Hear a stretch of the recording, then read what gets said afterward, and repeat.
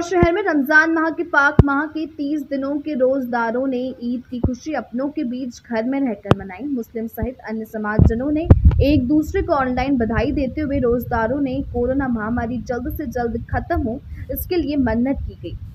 इंदौर में सभी त्योहार बड़े ही हर्षोल्लास से मनाए जाते हैं। जी हाँ लेकिन पिछले वर्ष की तरह इस वर्ष भी कोरोना की दूसरी लहर के चलते त्योहार फीके नज़र आ रहे हैं। इसी कड़ी में रमज़ान के पाक माह के 30 दिनों तक रोजा रखने के बाद ईदी पर मुस्लिम समाजजनों ने कोरोना गाइडलाइन का पालन करते हुए घरों में ही इबादत कर कोरोना महामारी को समाप्त करने के लिए दुआ मांगी है। तो वहीं अन्य परिजनों से मेल मुलाकात नहीं होने के चलते केवल उनसे ऑनलाइन मुलाकात कर एक दूसरे को शुभकामनाएँ दी जा रही है और जल्द ही मुलाकात और ऑनलाइन ही खैरियत भी पूछी जा रही है। सर बताएँ ईद का त्यौहार किस तरीके से मनाया आपने कोरोना काल को देखते सबसे पहले तो तमाम हिंदुस्तानियों को मैं ईद की बधाई देता हूँ और साथ ही साथ सबसे पहले मैं दुआ करता हूँ कि अल्लाह इस मुल्क से इस दुनिया से जो वबा जो बीमारी कोरोना के नाम से आई है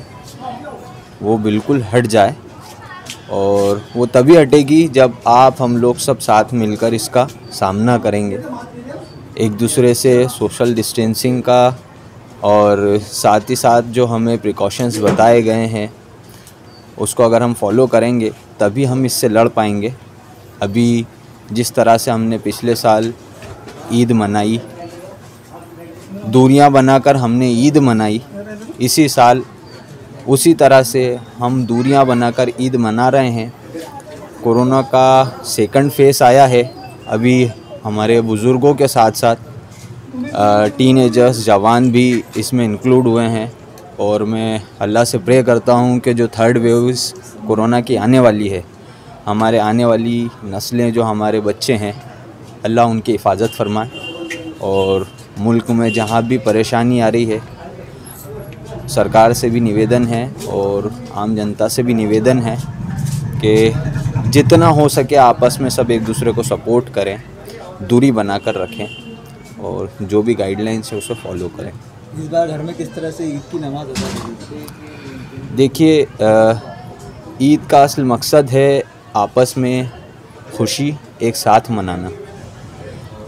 हम लोगों ने अपने अपने घरों में आपस में मिलकर तो ईद मना ली, लेकिन वीडियो कॉलिंग के थ्रू और फ़ोन कॉल्स के थ्रू जितने भी रिश्तेदार हैं, दोस्त हैं, मिलने वाले हैं, उन सबको कॉल करके अपनी बधाइयाँ दी और साथ ही साथ प्रिकॉशंस के लिए हमने रिक्वेस्ट की है कि आप ईद तभी मनाएँ जब दूरी रखें।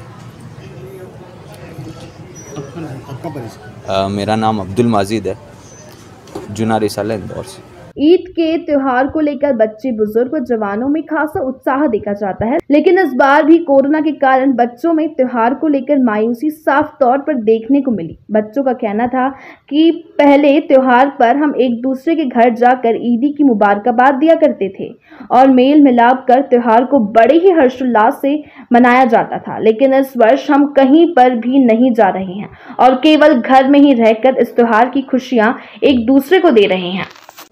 हमें ईद में बिल्कुल मज़ा नहीं आ रहा है। जैसे पहले ईद मनती थी वैसे नहीं मना पा रहे अभी हम। क्या कमी लग रही है आपको? हम कहीं आ जा नहीं पा रहे। क्या क्या करते थे इस पर आप? हम मस्ती करते थे और सिवई ये खाते थे सब फ्रेंडों के वहाँ जाते थे।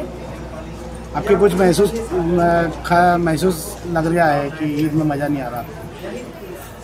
हाँ लग क्या कमी महसूस हो रही है आपको ईद पर?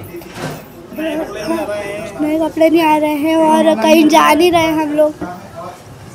मिलने नहीं जा रहे हम कहीं। क्या दुआ करेंगे मालिक से? ये कोरोना महामारी बीमारी जल्द से जल्द ख़त्म कर दे। आपका नाम बताइए। मेरा नाम बुशरा सैयद सिराज है। सर बताएँ आज ईद का कौन पर्व है किस तरह के साथ नहीं बनाई ईद तो हाँ बड़ी सादगी से बनी और घर में बड़ा अमन चैन से बनी हमारी ईद और बड़ा सुकून रहा हमारी ईद में। क्योंकि वो कहीं जाना ही नहीं है घर है और इबादत है। घर में रहे और इबादत करी मालिक का नाम लिया बस।